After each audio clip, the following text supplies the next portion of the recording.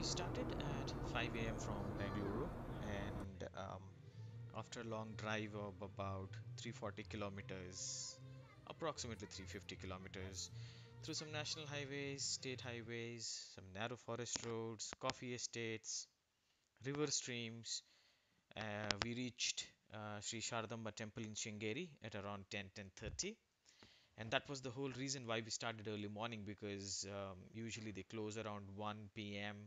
and till about 4 p.m. and then again they start so you cannot really have darshan of the goddess so Shing- Shringeri Sharadamba or Sharada is one of the four Advaita Vedanta monastery uh, which was established by Adi Shankaracharya around 800 AD in Shringeri which is in Karnataka obviously Uh, it's on the banks of the Tunga River in the Chikmagaluru district, um, the, in, the Western Ghats. Okay, so this particular Sringeri Sharada Peetham uh, site also includes two temples. One is for the Shiva, and the other for Saraswati, which is also called Sharada Amba.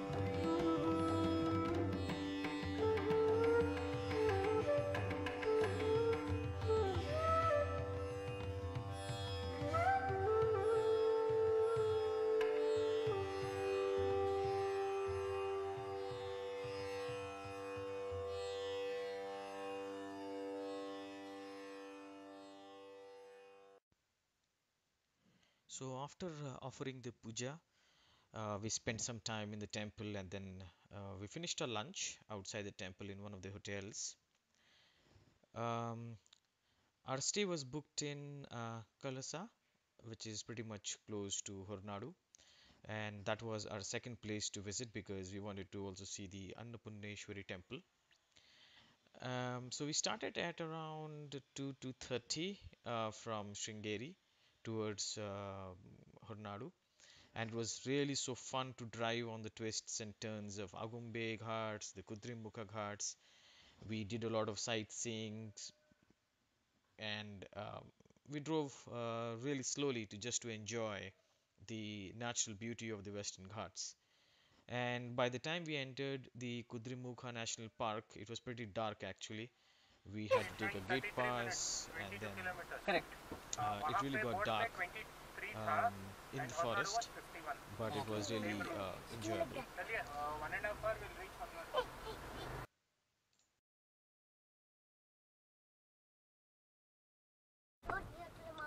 দেখো এগুলো দেখো ভিউগুলো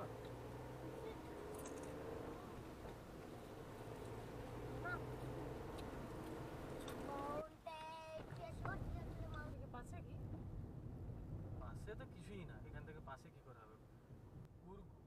থেকে উঠি যায় এটা আমরা So after a night stay in in our um, hotel in Kalasa, we drove to Annapurneshwari temple, which is uh, about which was about five six kilometers from our hotel, and it's again uh, uh, about 100 kilometers from the Chikmagalur town, but it's in the thick forests in the valleys of the Western Ghats of Karnataka. Beautiful place, and this uh, temple was on the banks of the river Bhadra.